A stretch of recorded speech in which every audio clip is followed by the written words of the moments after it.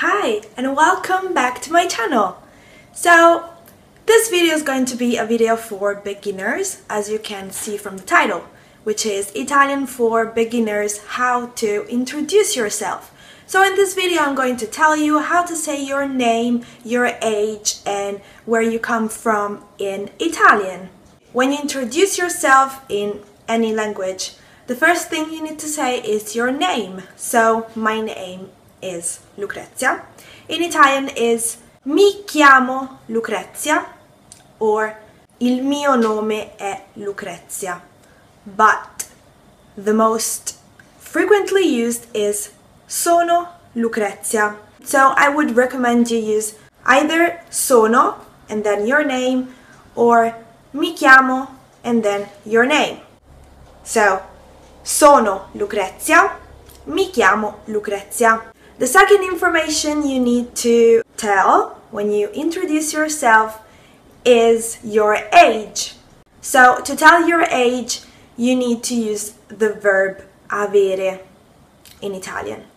So it is io ho 24 anni, which is very, very different from English because in English you say I am 24 years old with the um, verb to be. In Italian, you have to use the verb to have, absolutely. Io ho 24 anni. So you say io ho and then your age.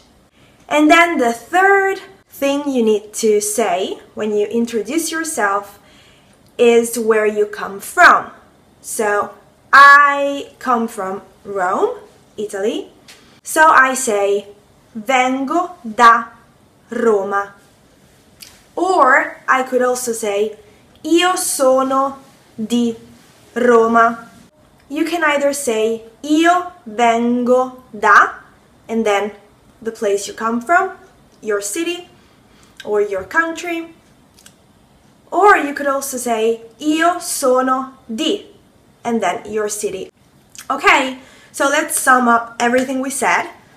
Mi chiamo Lucrezia or sono Lucrezia, ho 24 anni e vengo da Roma or sono di Roma.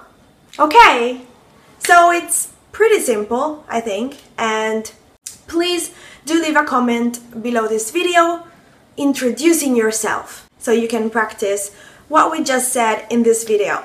Thank you so much for watching and don't forget to subscribe to my channel for more videos like this. And mm, I'm also on Instagram. If you want to follow me on there we can become insta friends. And I'll see you soon in my next video. Ciao